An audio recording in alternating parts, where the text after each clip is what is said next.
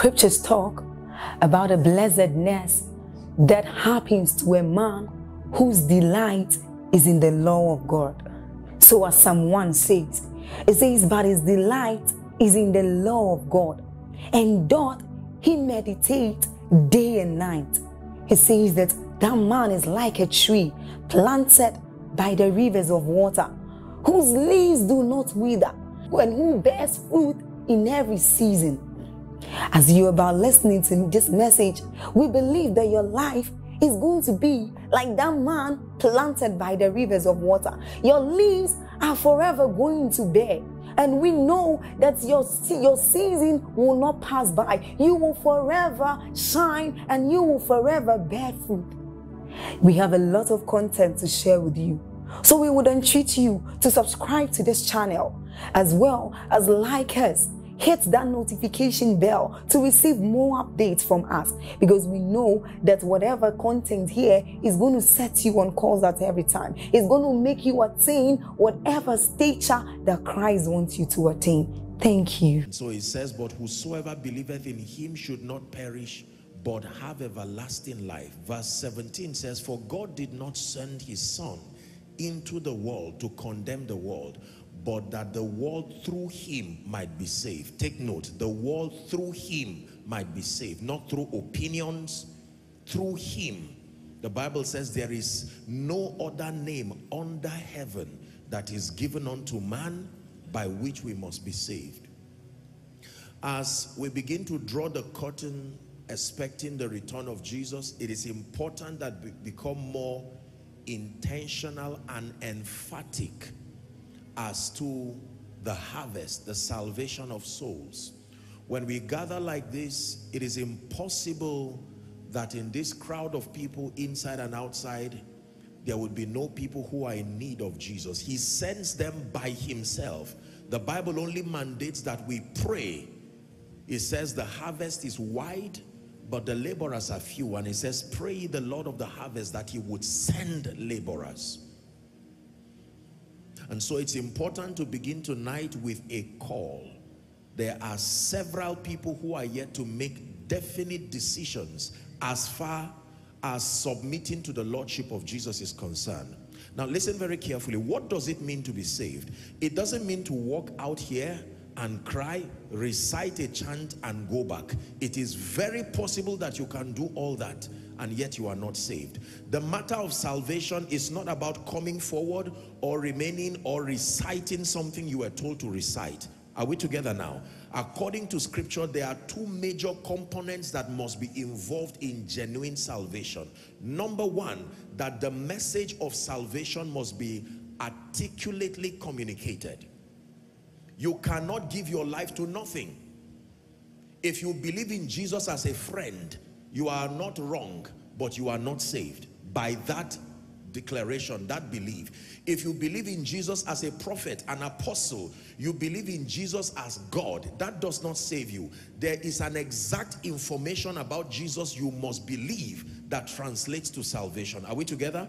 Paul preached that message intelligently on the day of Pentecost. He said, let it be known to you that this same Jesus that you have crucified has today been exalted as Lord and Christ. It matters what you believe about Jesus. When it has to do, listen carefully, when it has to do with salvation, you must believe, listen carefully, you must believe and admit your current state that you are unable to help yourself and that by the righteousness of the law and the righteousness that comes through yourself and through your works, you are unable to be saved. Salvation only comes through faith that is in Christ. Are we together? The Bible does tell us that our righteousness, the best of us is as filthy rags. There's no point for argument. And then the Bible also declares that the wages of sin is death. As simple as that. That the soul that sins will die. And by that verdict, all have sinned and fallen short of the glory of God. Are we together? So Jesus now comes as a mediator. He comes as an expression of the Father's love. That since you are unable to meet the righteous standards of God, I have come in covenant to receive of your nature of sin and to pay the due price, the due penalty for sin. And Isaiah the prophet was speaking and said, he shall see the travail of his soul. Jesus did not come to die for himself. No.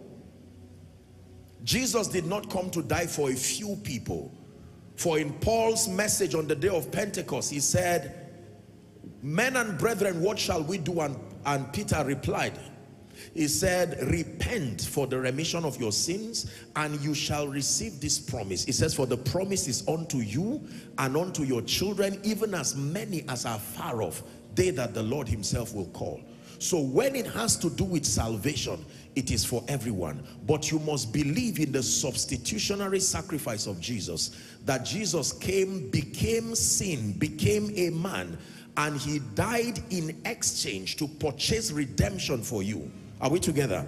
That when you believe in Jesus Christ with your heart, according to Romans chapter 10, reading from verse 9 and 10, that if you believe with your heart the Lord Jesus Christ and you confess with your mouth his lordship, you shall be saved. And the law is in verse 10. It says, For with the heart man believes unto righteousness, and with the mouth confession is made unto salvation. Verse 13 says, Neither um, is there, he said, whosoever calls upon the name of the Lord, he shall be saved. There is no salvation in any other. Now, the beautiful thing about salvation is that God still respects your will, your ability to choose. That means as an act of your will and your volition consciously, you can listen to this message and say, Jesus, I choose as an act of my will to reject you. Meaning I reject your life, meaning I reject your Holy Spirit, meaning I reject the potential for dominion, meaning I reject eternal security and redemption, meaning I reject everything that is God. Rejecting Jesus is a public declaration of your eternal fraternity with Satan.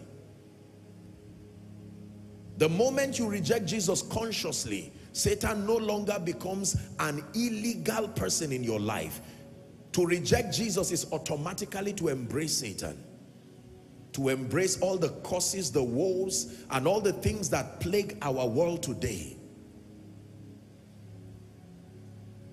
Submitting your heart and your life to Jesus is more than becoming a Christian. It's more than the religiosity of coming into a faith practice that acknowledge Jesus as Lord. It is a relationship. It says, behold, I stand at the door of your heart and I knock.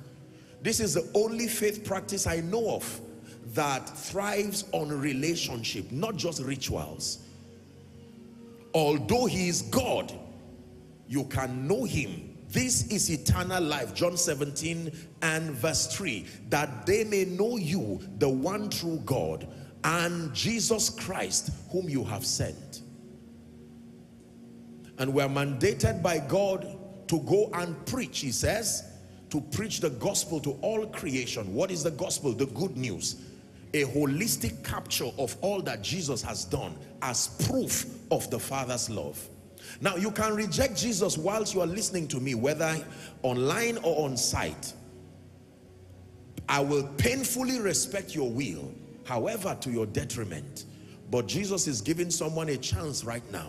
You probably were invited for the first time. You're somewhere scattered within, outside. Or for someone You've heard these teachings and these messages again and again, but you are yet to make up your mind. The Bible says today, if you hear his voice, you can hear his voice and assume he's not speaking to me. Apostle, I came to be healed. Talk about healing. Apostle, I came because I'm tired of poverty. I came to access the grace for favor. Indeed, you will find it because this is the house of God. But can I tell you, if you come to my house and eat my food, sleep on my bed, use my restroom, and ignore me and walk away, you cannot call me friend. He desires a relationship. You can come and receive of the fringe benefits of redemption. But more than the things that he will give you, he's presenting to you tonight the gift of himself. The greatest gift that can be given. Himself with his life, coming alongside his wisdom, his power. And you may say, Apostle, you don't know who is sitting and listening to you. You don't know the story of my life. I've done everything evil to be done. Jesus extends his love even for people like you. For while he walked upon the earth, he said, those that are without sickness do not need a physician. Now that you have acknowledged that you need his help, he can come to you as the savior, even the physician. He's the savior. He can move your mountain. My God is mighty to save. He is mighty to save forever the author of salvation. He rose and conquered the grave. Jesus conquered the grave. Your Savior, He can move a mountain. My God is mighty to save. He is mighty to save forever. The author of salvation. He rose and conquered the grave. He rose and conquered the grave. Jesus conquered the grave. He rose and conquered the grave. Jesus conquered the grave. Hallelujah. I'm about to make an altar call. No looking left, no looking right. Jesus is speaking to you.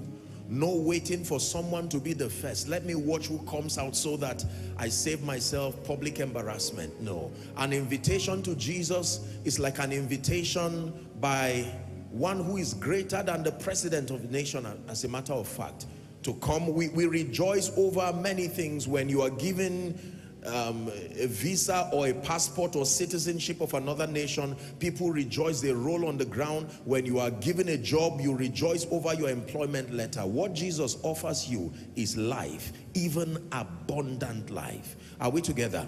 I'm going to make a call one to five, calling on two groups of people. Number one, those who have heard me and are determined while you were listening to me, the Holy Spirit, whether you know him or not, you know that he's the one nudging you.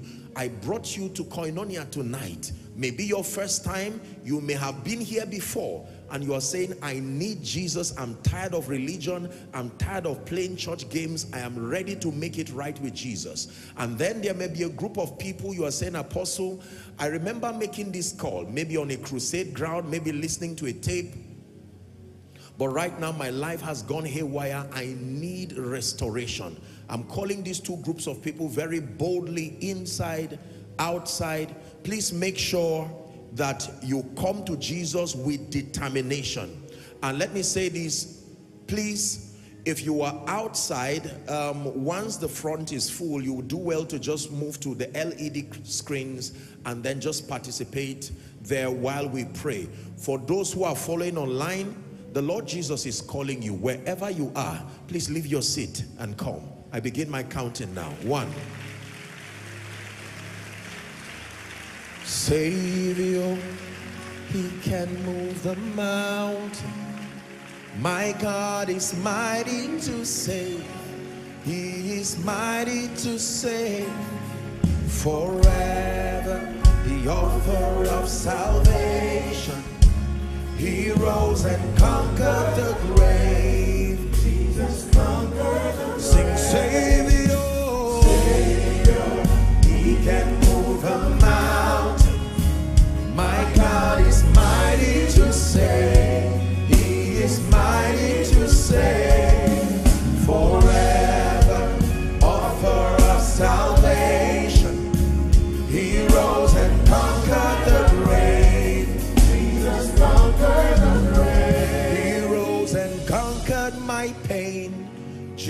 Jesus conquered my pain. He rose and conquered my shame. Jesus conquered my shame. Come. Come to Jesus. Come. Come to Jesus. Young and old. Educated and uneducated. Rich, poor, and everything in between. Come. Salvation is for all men. Neither is there salvation in any other name. There is no other name given unto men under heaven by which we must be saved. Now listen to me. I really salute all of you who have made this bold, taken this bold step to come. The next thing I would ask you to do is to mean every confession and every word. Are we together now? Yes. Some of you are crying. There's nothing to be ashamed and afraid of. For our God is champion forevermore.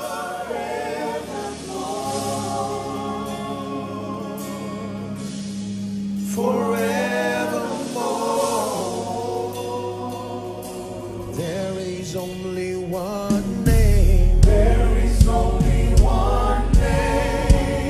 That's our confession tonight.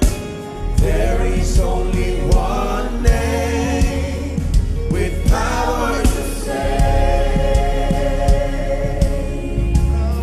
With power to save. Please lift your right hand as high as it can get. This is unto Jesus, the Son, the King, the Savior, Lord, and even Christ. Say this after me as loud as you can. Say, Lord Jesus, tonight I declare that I believe in you. I declare that you are my Savior. I declare that you are my Lord. I declare that you are my King. I believe with my heart that you died for my sin. And I confess with my mouth that you rose from the grave even for me.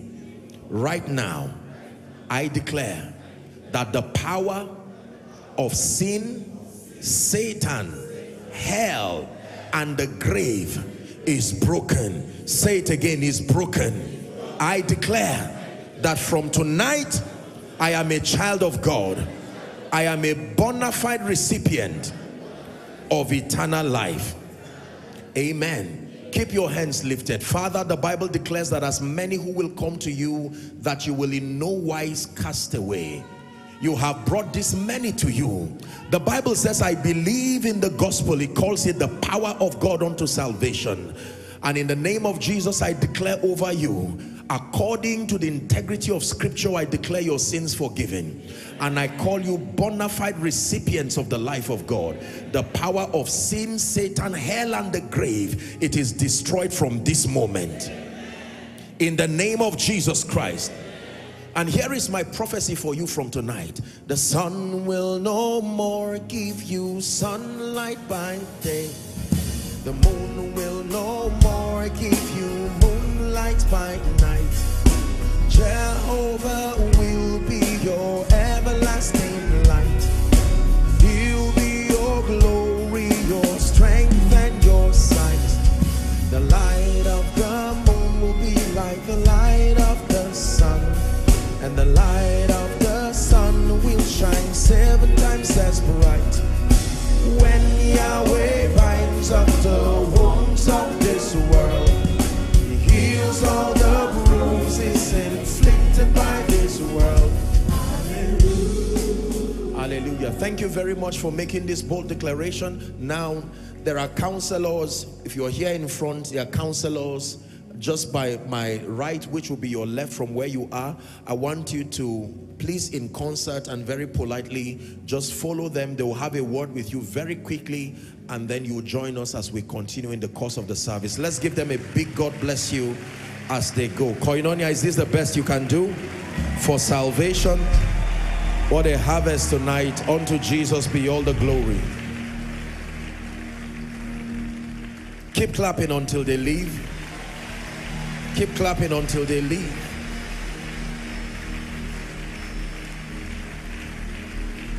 No eye has sinned, no ear has heard what God has prepared for me. So I submit to your work in me till the Christ be formed. No eye has sinned,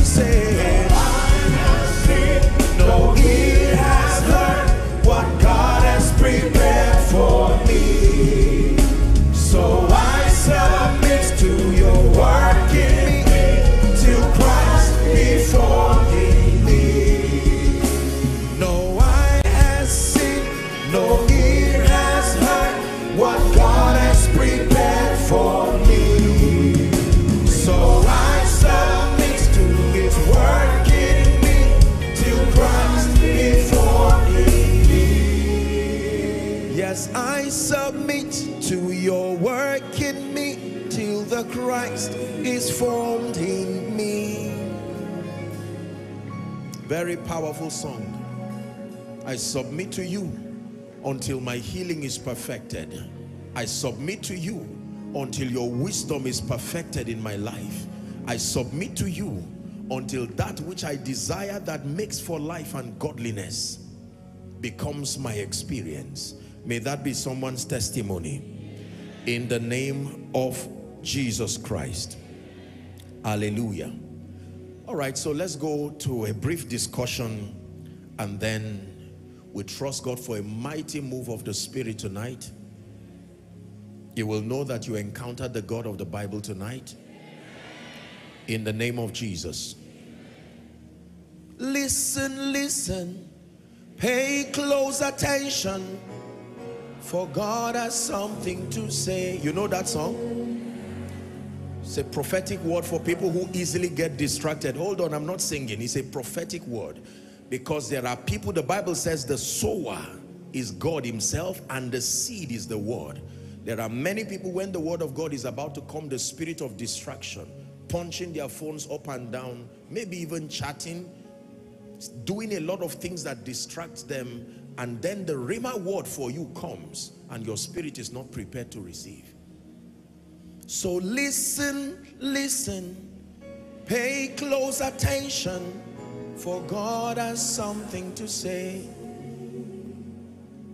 God's love for us is unconditional. According to Jeremiah chapter 31 and verse 3 Jeremiah 31 and verse 3 it says the Lord hath appeared of old unto me saying I have loved thee with an everlasting love therefore with my loving kindness have I drawn thee God's love for us is unconditional according to Romans chapter 5 and verse 8. Romans 5 verse 8 tells us that God commended his love towards us in that while we were yet sinners, Christ died for us. He did not wait for us to sign a form that if he died, we would not waste his sacrifice. He took the risk as a representation of his love.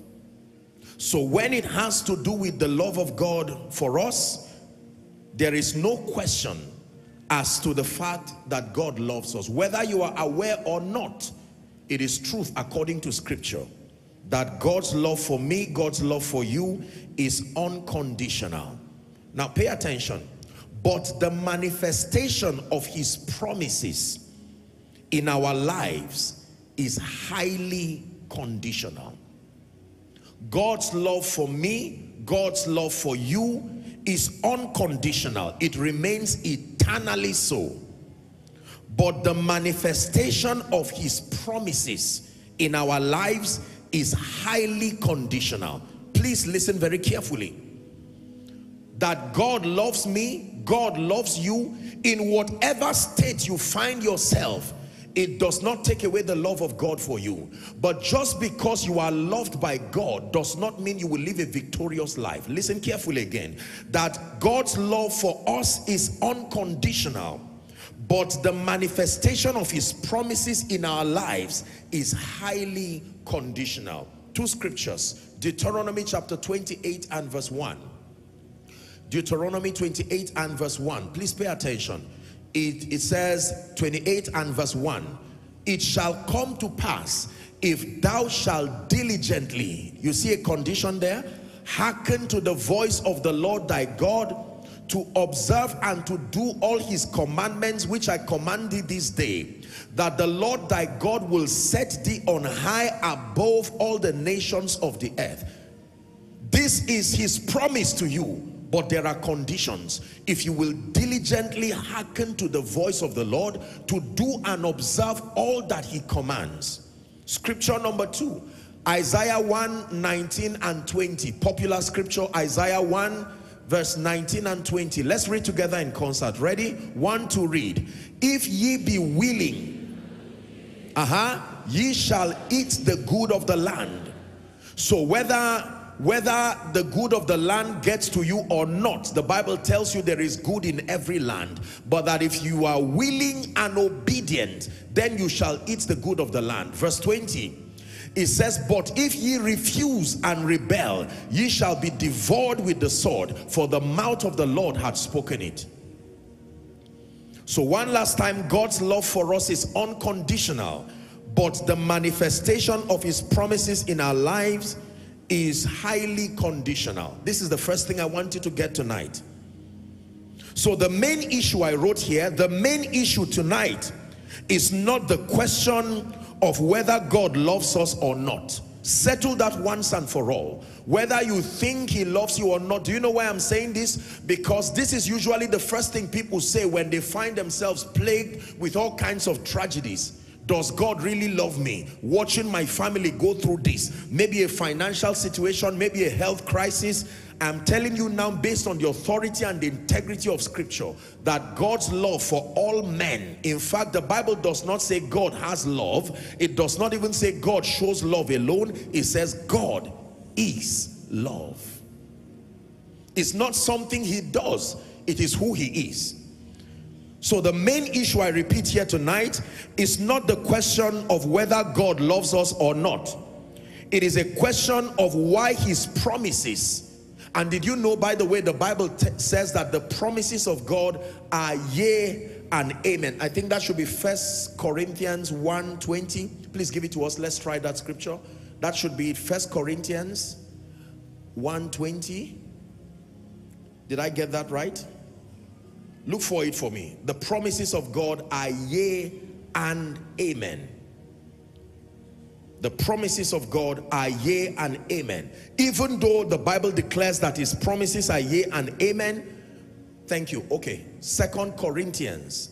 For the promises of God in him are yea and in him amen unto the glory of God by us. So the Bible here tells us that the promises of God are yea and amen. Do you know what that means? There is a guarantee that if and when the conditions that release those promises are engaged, God is committed by his integrity. He's bound himself with an oath and a promise that by these two immutable things the Bible declares, it is impossible for God to lie. The question is why we have not seen the visible expression of these promises in our lives. And remember, we dealt with it here some weeks ago according to Second Peter 1 and verse 4. Wherefore have we been given great, exceeding great and precious promises, the Bible says, that by these we might be partakers of his divine nature, having escaped the corruption that is in the world through lust. So the Bible tells us that we have been given in Christ and through Christ and by Christ exceeding great and precious promises. Listen carefully.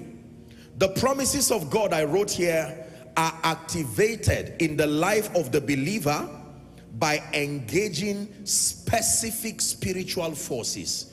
Now this is, I'm getting to the meat of my teaching now. The promises of God are activated in the life of the believer by engaging specific spiritual forces. Someone shout it, say spiritual forces. One more time, say spiritual forces. Hallelujah.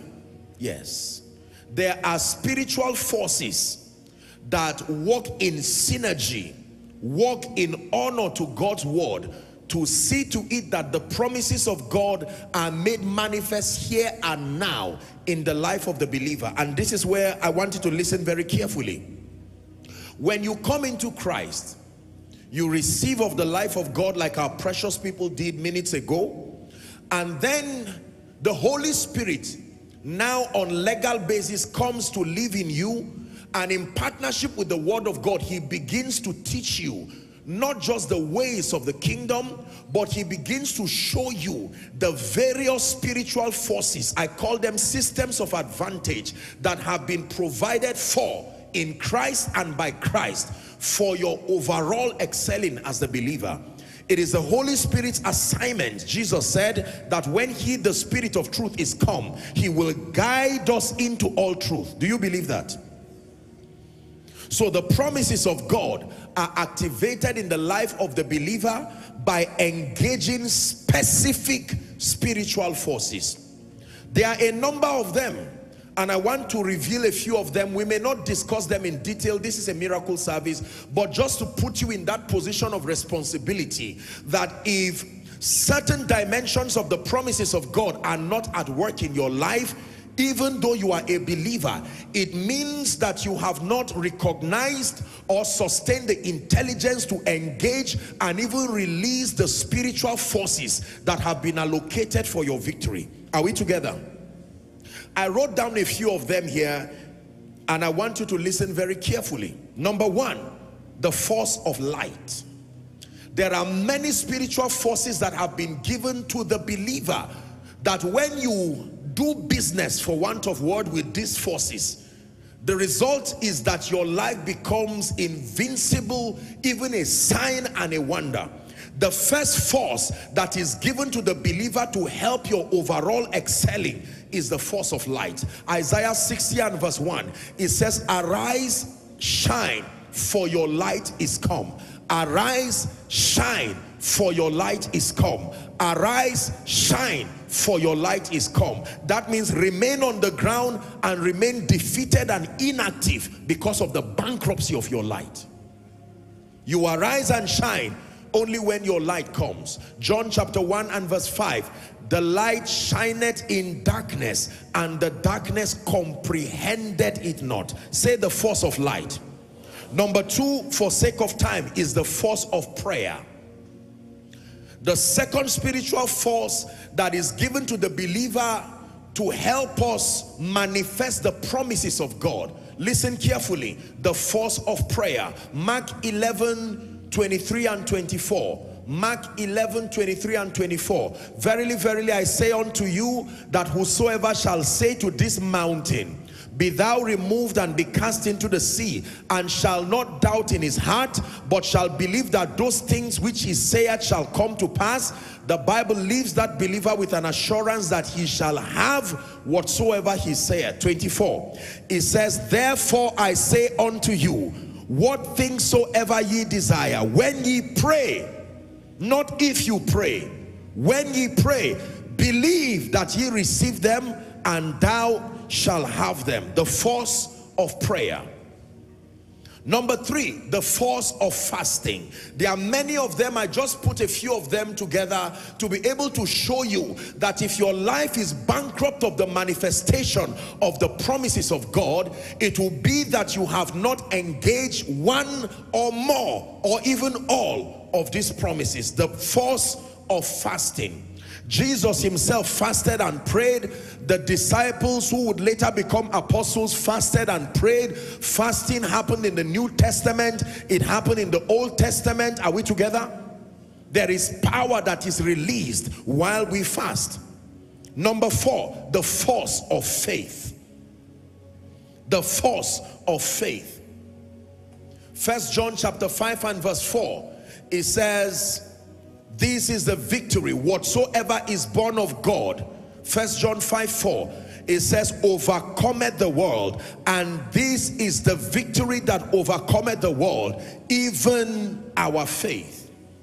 Even our faith. Even our faith. The force of faith. It says when he was teaching about the whole armor of God. Remember? in Ephesians chapter 6, I believe Apostle Paul was mentoring the church in Ephesus and he was teaching them to put the whole armor of God and he calls faith a shield wherewith you shall be able to quench all the fiery darts of the devil. The force of faith. Every time Jesus was helping the disciples to reveal to them why they did not have some things happen in their life. He would usually trace it to the issue of unbelief. Why couldn't we do this? In fact, when Peter came, when the devil came to manipulate Peter, Jesus rebukes the spirit and says, get thee behind me, Satan. And he said, Peter, Satan has desired to sift you like wheat. He said, but I have prayed for you that your faith fail not. And when thou art converted, he says, strengthen your brethren. The force of faith. Are we still together? Number five, very quickly, the force of praise. the force of praise. Psalm 67 from verse 5 and 6. These are spiritual forces, mysteriously powerful, that help the saints to transport the promises of God from the prophetic dimension into the experiential dimension. Let the people praise thee, O God. Let the people praise thee. Verse 6. It says, Then shall the earth yield her increase, and God, even our own God, shall bless us. Praise. That mysterious weapon. There are people who have held on to praise alone, and with it they have they have commanded tremendous levels of victory. Is someone learning? A quick recap. Spiritual forces that help believers to walk in dominion, manifesting the promises that have been given to the saints. The force of light, the force of prayer, the force of fasting, the force of faith, the force of faith. Number six, the force of favor. The force of favor very powerful, mysterious spiritual force that can help men to maximize life and maximize destiny. I was preaching for a dear precious pastor friend yesterday and we had an opportunity to discuss a bit on favor and it dawned on me again. I have taught this for all my life and yet I never get tired of teaching on favor because my life is a product of the favor of God. The force of favor where God compels men and compels systems to respond favorably favorably showing you unusual kindness giving you unusual access and commanding towards you unusual acceptance. These are the tripartite indices that measure the presence of favor. One more time let me repeat it. The presence of unusual kindness unusual access, unusual acceptance. When these tripartite manifestations happen in your life, you are favored indeed. Walking in abundance, moving with the speed of the Holy Ghost. I am favored. I am walking in abundance moving with the speed of the Holy Ghost. I am favored. The force of favor. Listen, do you know? Not the six that have listed alone. There are people who have zero over six working in their life.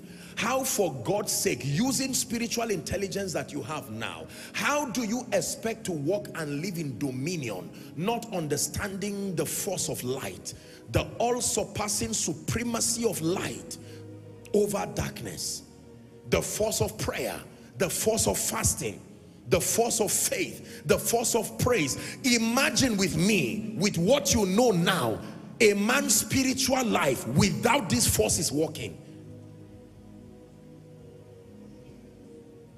Number seven, the force of sacrifice. These are the spiritual forces that control the arrival and the manifestation of the promises of God that the Bible says are yea and amen. The force of sacrifice. Psalm 50 and verse 5, it says, Gather unto me my saints, they that have made a covenant with me by sacrifice.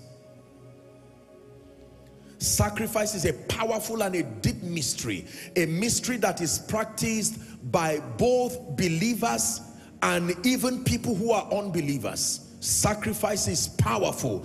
The Bible is, is full of stories, instances where men and women engage this mysterious force and they rewrote narratives over their lives. It was even this force that was engaged when God wanted to redeem man. He had to give his only begotten son. The force of sacrifice.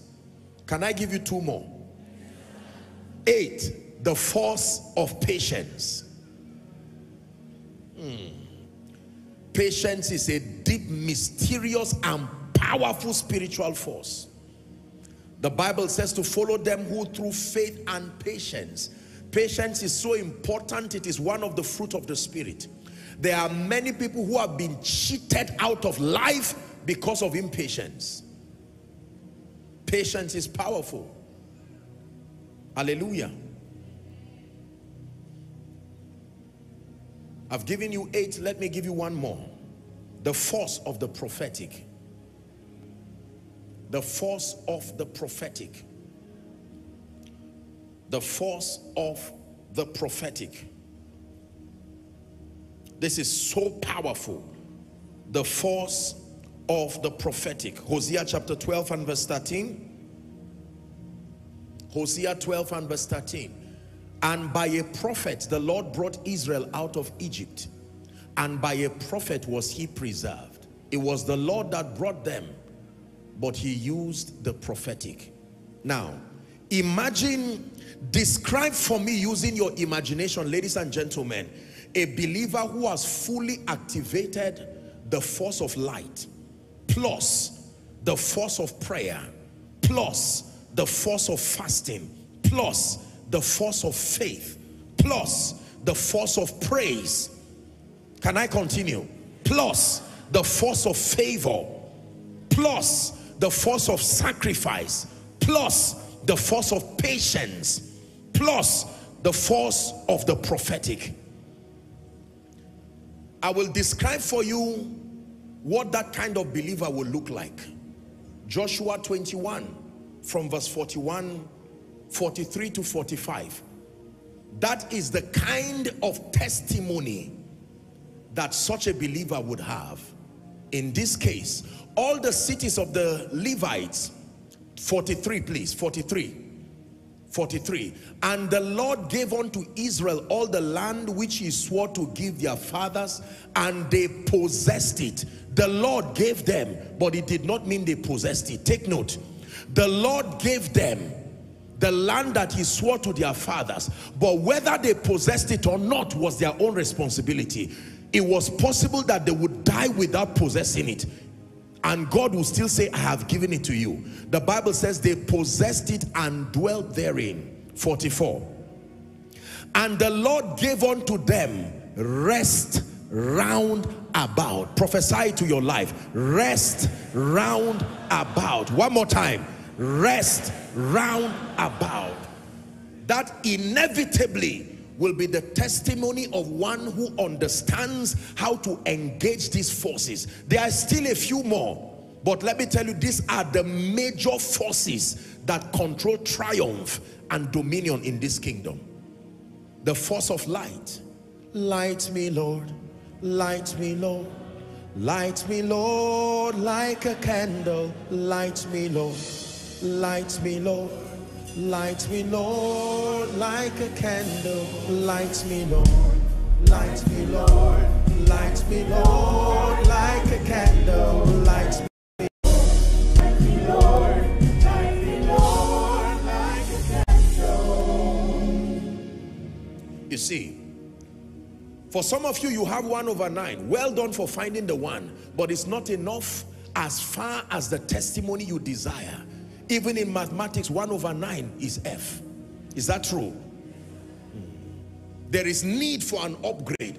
Apostle, all I do is to fast, congratulations. But that is not the only force. Apostle, all I do is to pray, congratulations. There are other forces. These forces are not this, you are not supposed to pan pick anyone that you feel is convenient the forces have been allocated for your holistic victory. The challenge with believers is they pick the one that they are mentored to appreciate while ignoring others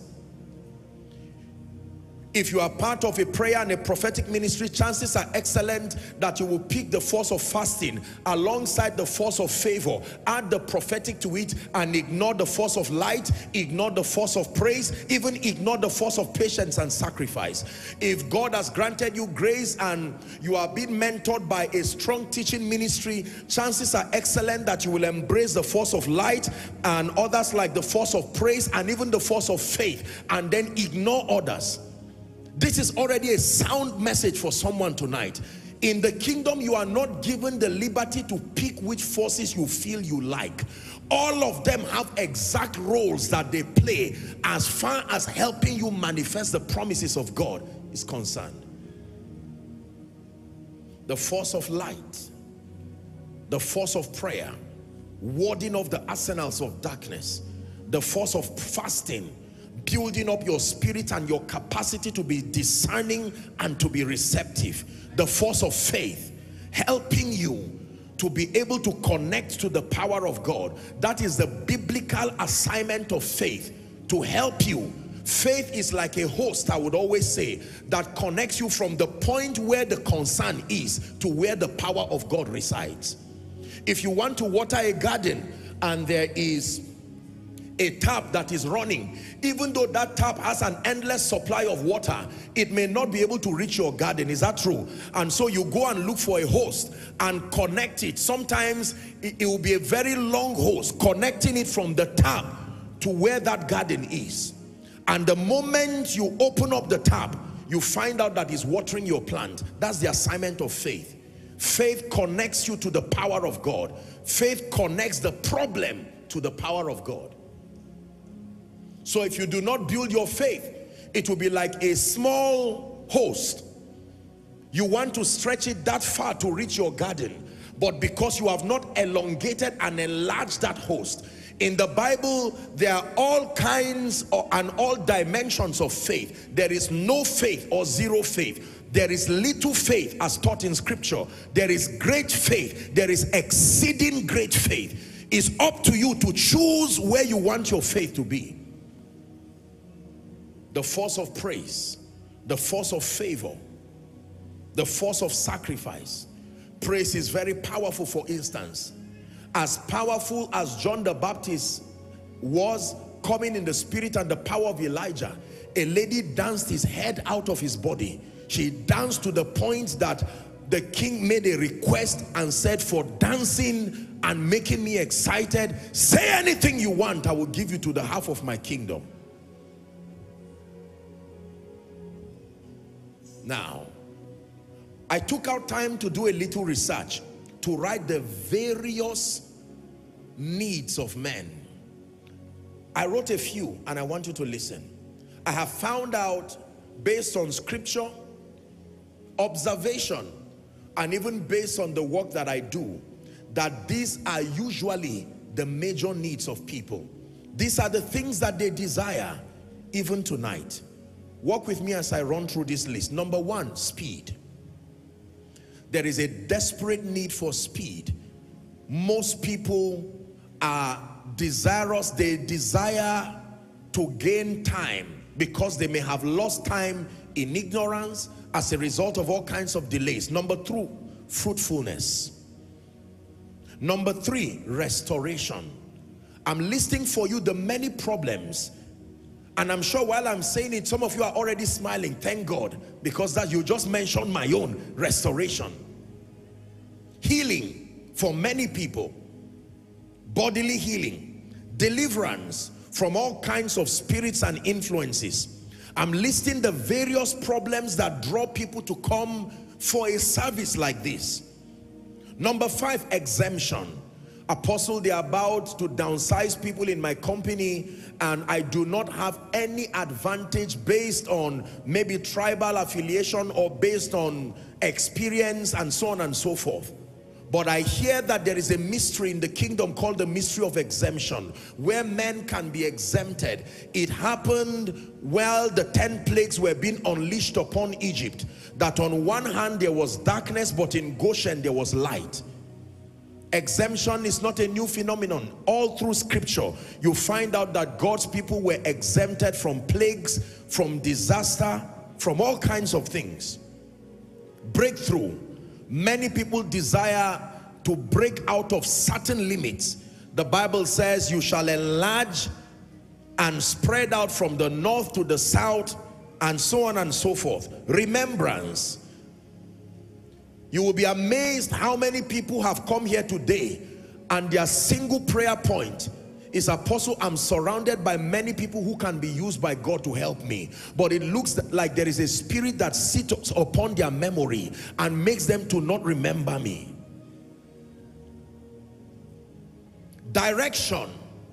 I'm confused. Where do i go to? To the left or right? Should i travel abroad or should i remain in nigeria should i leave abuja or remain here should i keep working in my office or do I find my way somewhere? Do I keep doing my professional work or start business? Direction is very important as far as destiny actualization is concerned. Are you learning? Number next, whatever number it is, strength. Strength. Many have come here exhausted emotionally, exhausted physically, and the Bible says strength is small. Hallelujah. It was Isaiah, I believe, chapter, what would that be, 40? Speaking about the renewal of strength. It says, Hast thou not heard, hast thou not known? The everlasting God, the Lord, is that true that there is no, he does not get weary, there is no searching of his understanding? And then it says, even the young men will be weary, the youth, he says he does not faint, neither is he weary, there is no searching of his understanding. Verse 29 he giveth power to the faint. Somebody say power to the faint. And to them that have no might he increaseth strength. Do you know why people faint? People faint because of the consistent battles. Provided you are alive and you live in a world like ours today there are many things that sap your energy emotionally you may be a parent and just when you're trying to manage the issue of no salary, no payment, your children just come with a PTA letter to let you know that the school fees has been increased by 50%. And chances are excellent that you can become emotionally fatigued. It's true. The Bible says, a merry heart doeth good like medicine. It says, but a broken spirit can dry up the bones. I receive text messages, emails from people complaining and you hear them say, I am tired. I am tired is a psychological way of saying I'm about to give up. What do you think leads men to suicide? You know, it used to be something that people laugh at. Africans laugh at people and say, this white guy is killing themselves. But you see that spirit patiently crept his way into Africa. And right now someone just strolls around as if he's going to the market and the next thing they pick his dead body somewhere with a letter I am tired of life. I forbid that over your life and I forbid that over your children. There's a very particular psychological case that I've observed that is on the increase and on the rise right now. They call it mental health. Mental what they call it?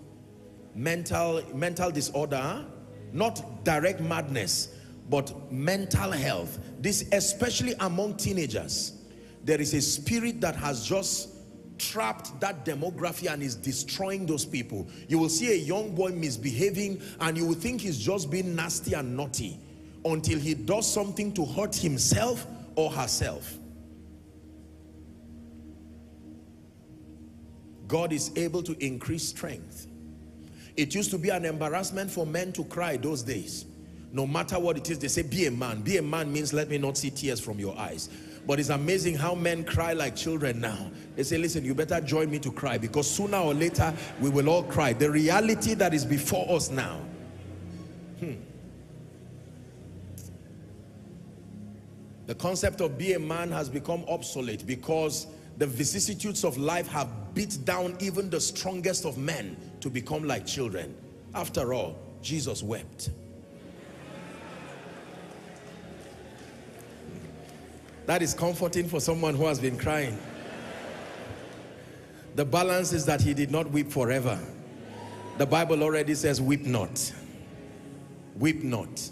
The current speakings of God is that you weep not because the lion of the tribe of Judah has prevailed and he is worthy to open the book and unlock the scrolls. And for someone who came here weeping, God has given us a beautiful handkerchief to wipe those tears forever. But I submit to you that men and women alike can become overwhelmed by the situations of life, rent issue plus health issue, plus causes, plus the wickedness of men. Are we together? Plus all kinds of prejudices that come with this life can equal breakdowns of any sort. And sometimes, even if you are Jesus, you may be overwhelmed and find yourself crying. Strength. How about revival? There are people who are saying, I'm, I'm not here for healing. My spiritual life has gone as low as it can get. Prayer, zero. Fasting, zero.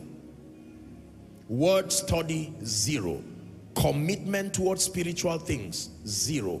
Passion for the house of God, zero. Love for the brethren, zero. You are in desperate need for revival. What does it mean to revive? To revive means to bring back to a position of stature, stability, and vitality. Transformation. There are many believers who are in need, desperate need for transformation. Transformation it was, is what sponsors becoming Christ-like. There are many people who are saved and it's only because you saw them come to the frontier, there's no other evidence in their lives that they've met Jesus. Every other thing looks like Satan. You are in need of transformation.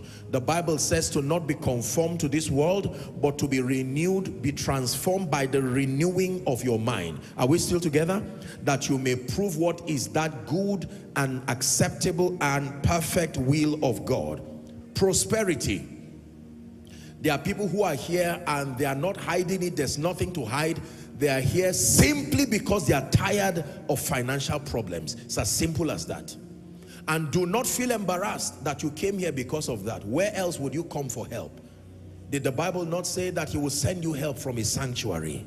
The house of God is a place of help. Many people laugh at the church in sarcasm and say the church cannot help people even economically. After all, what do preachers know? When you have financial problems, you need some kind of economic, intelligent perspectives. It may not be true. Not every man of God is dull. God is helping all of us. But there are people who have opened up themselves to the whole counsel of God. Make no mistakes to think that the church cannot help people to be empowered economically with the dignity of kingdom integrity. The house of God is the ground and the pillar of truth. Are we together? And like you would be learning, there is always a prophetic advantage to wealth that the world cannot give you. Yes. Wealth, I taught you last week, so do not forget the reward system of the kingdom. I have taught you series upon series on finances. We have one scheduled for this year, and I will continue to teach. But let me tell you sincerely, you want to be empowered financially, sustainably. Do not embrace value and intellectual uh, approach to finances alone. The world is wicked. There are spirits. They don't care how economically sound you are. Samaria, I believe, had people who were economically sound, but famine still came. The world is going through the formation of another, another kind of financial tragedy that we hope does not bring people to their knees again. Every once in a while it happens. It's a circle. But the people that do know their God, the Bible says they shall be strong, capacity, and they shall do exploits. It says, thou hast caused men to ride upon our heads. We walk through fire and through water, but thou broughtest us into a wealthy place. Are we together? God can prosper men. God can prosper men. There is a kingdom's way of prosperity. This is not what I'm teaching. I'm just showing you the major needs of people. And I'd be lying, we both will be lying to not admit that it is one of the major issues that has brought people right now. Most people are already standing at the corridors of compromise simply because of financial limitations school fees, house rent, monies for expenditures, and all kinds of things. I think it is insensitive of a man of God to ignore these things in light of the current happenings in our world. I consider it quite insensitive. Any true leader, any true shepherd that loves his people must be able to make his contribution as far as empowering the people economically is concerned. And the key is light. Both spiritual, prophetic, and economic intelligence is what needs to weave themselves together to get you completely out of poverty. But let me tell you, getting out of poverty as an experience is a reality. And your whole lifetime does not have to be invested to make that project happen. If you follow God's way, it is the way of wisdom. Many people arrogantly would not listen to the counsel of God and continue to double across paths that only repeat pain like many of you have refused to listen to God. I know what I, I need to do. I studied economics. I'm not insulting your pedigree, but we're talking of higher spiritual laws that produce results that can be proven here and now. My son, he says, pay attention to my words. Incline your ears to my sayings. It says, do not let them depart from out of thy mouth. Keep them in the midst of your heart. The Bible then says they are life, not to everybody, to those who find them, and health to their flesh. You're not empowered economically, you will live a sad life, an angry one for that matter. It will now extend to jealousy, anger, and all the negative attributes that come with lack. And let me tell you, it is not the will of God to be and to live in poverty. Let me repeat it again for your hearing and to strengthen your conviction. It is not the will of God. Regardless what the economic situation is right now, you must first believe that there is a way out of this for me. Not by playing pranks and crooks and by demonic manipulation and some of these negative things with the dignity of kingdom integrity you can rise. And can I tell you you can rise on time. God gives men speed so that they can serve his purposes. He told Pharaoh let my people go that they may go and serve me. When he tells that financial Pharaoh to let you go is so that you can have the liberty to serve him Financial resources help you to serve God in truth and to serve him properly. You can become a blessing to people. If you are healed, you are healed for yourself. But you see, when God prospers you, you can become an extension of his love to all and sundry. If you believe that, shout amen. The meaning of that is that every financial pharaoh that has trapped you, for as long as you have found yourself here tonight, in the name that is above all names, and by the power that raised Christ from the dead, financial shame and embarrassment must give way from your life.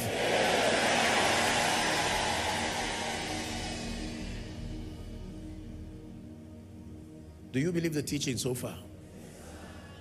The love of God, regardless your condition, is unconditional but the manifestation of his promises in your life and my life, the manifestation of speed, fruitfulness, restoration, healing, deliverance, exemption, breakthrough, remembrance, direction, strength, revival, transformation, prosperity, and the list goes on. Every one of these needs and desires are controlled by the aforementioned forces. If you know how to engage them, then you will stand victorious. This is why we teach week in, week out, line upon line, precept upon precept, here a little, there a little, exposing you to be able to handle these forces with the mastery of a professional so that you will be able to command all kinds of victory. And may that be your testimony in the name of Jesus Christ.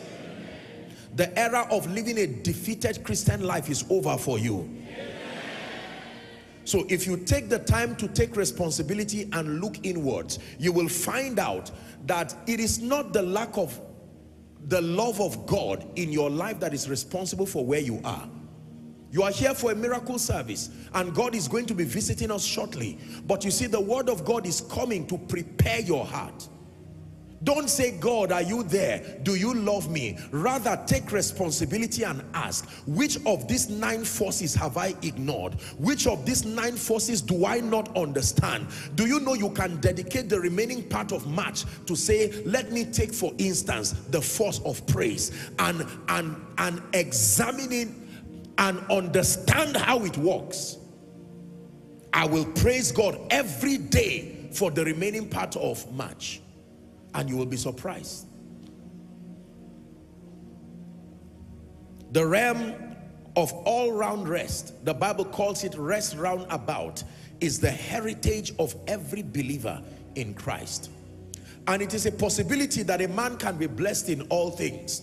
The Bible says in Genesis, I believe, 24 and verse 1, it says, and Abraham was old and well stricken in age. Read with me, please, the remaining part.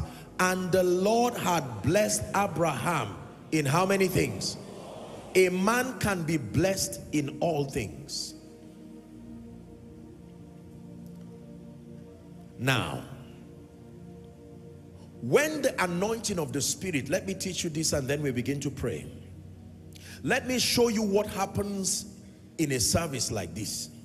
Because many of us really do not appreciate the ministry of the anointing. When the anointing of the Spirit of God hovers around the people, even by the ministry of the Spirit, you know what happens?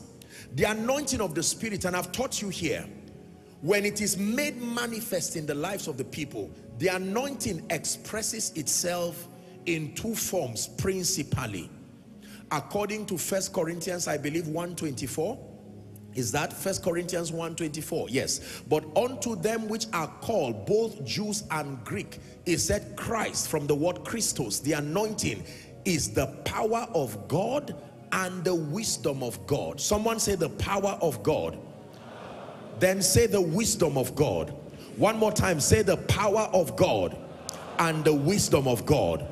The Bible says Christ can be made manifest as the power of God and Christ can be made manifest as the wisdom of God. That means every time you see the anointing of the Spirit resting upon people, the anointing is manifesting for others as the wisdom of God, guiding you and helping you to know what to do for others, the anointing is manifesting as the power of God. What is the assignment of the power of God? I've taught you many, but principally, especially for tonight, the assignment of the power of God with respect to a miracle service like this is creation and correction. To create and to correct. To create and to correct. So when the power of God, when the anointing manifests as the power of God, it is there to create and it is there to correct. Correct what?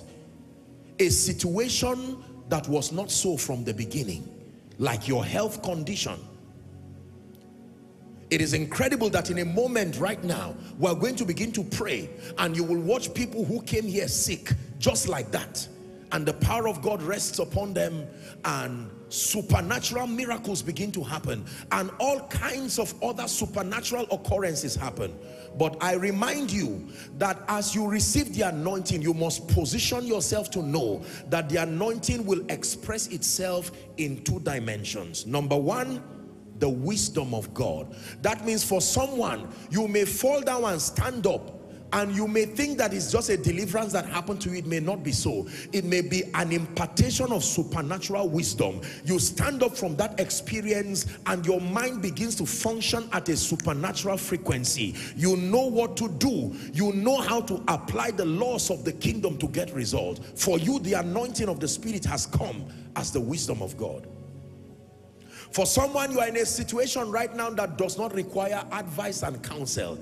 You need a head-on collision with the power of God, as simple as that. For instance, if you are in a situation of witchcraft, all kinds of yokes and curses, spirits of delay, all kinds of manifestations of darkness. You are here with a medical report that is threatening your life. There is no counsel right there. Maybe it can happen afterwards. What you need is the anointing revealing itself as the power of God.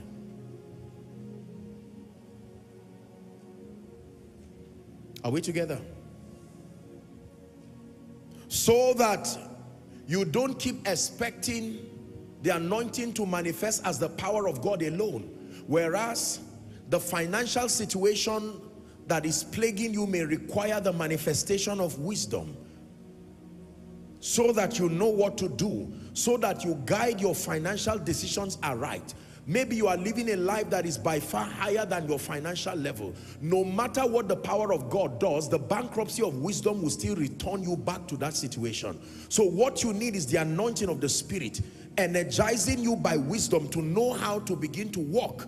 Now you engage the force of patience and you know that it is not lack of faith to remain in that one room until God begins to increase you. The spirit that pushes you to live a fake life I must buy an SUV of 10 million, 20 million, whereas all you have home and abroad is 2 million. You see, that's not wisdom. So what you need is, as you fall down, you better know what the Holy Ghost is doing. When you stand up, it should be that foolishness that remains on the ground. You stand up lifted, changed. Are we together? Yes.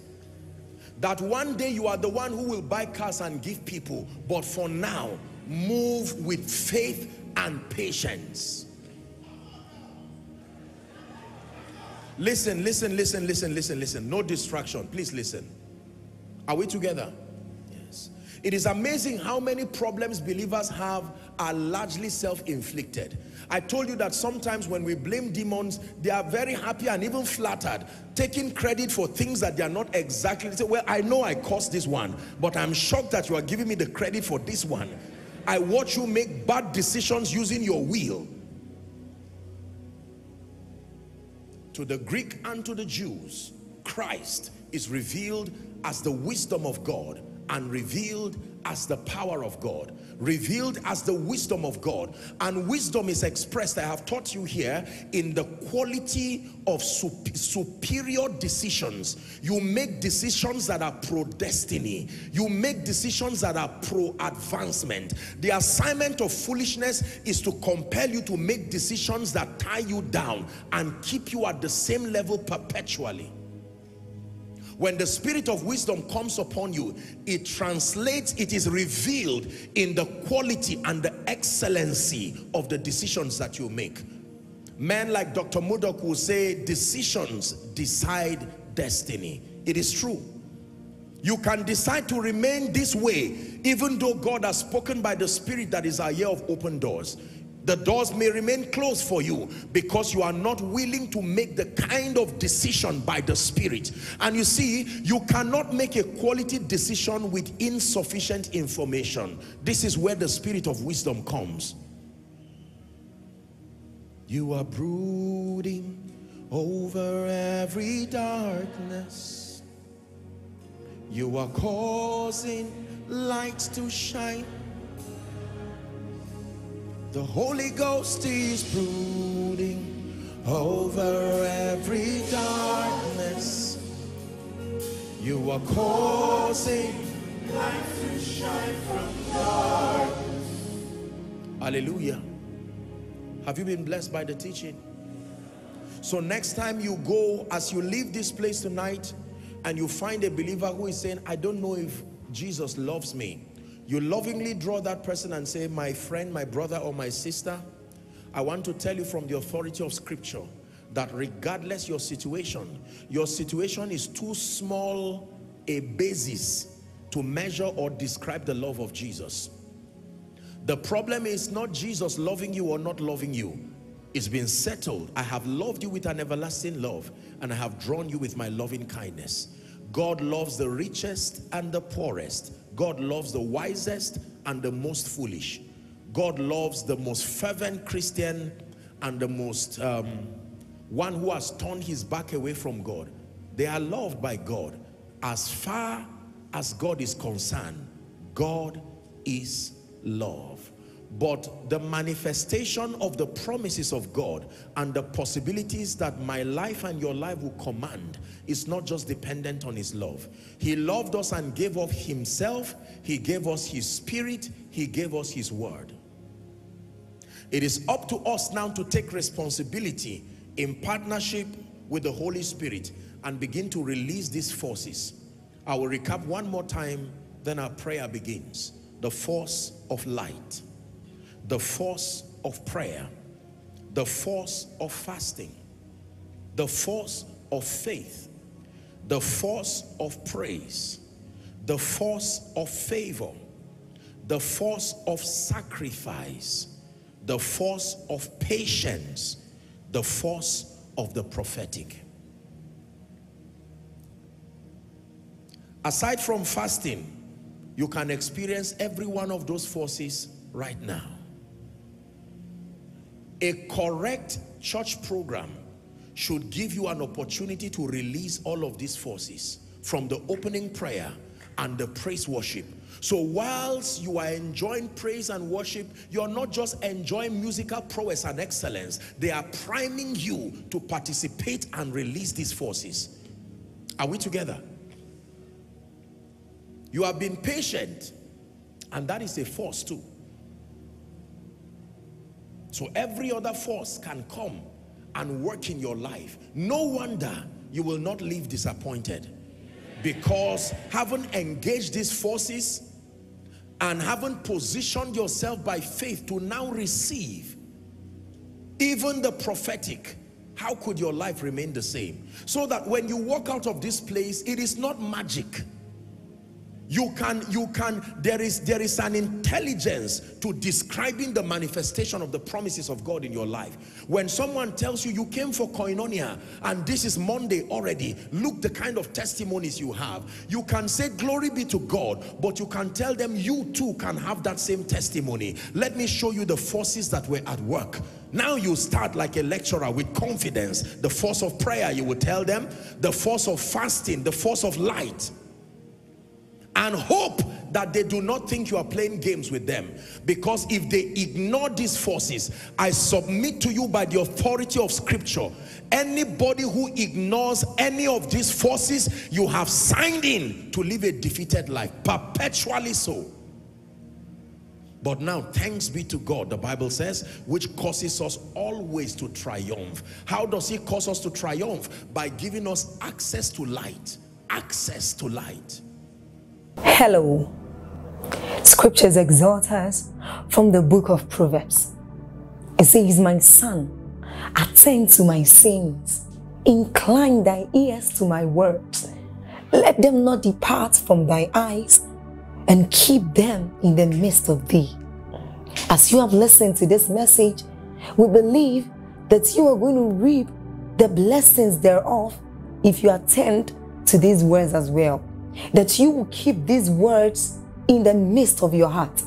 That no matter the circumstance, your eyes are going to be fixed on these words.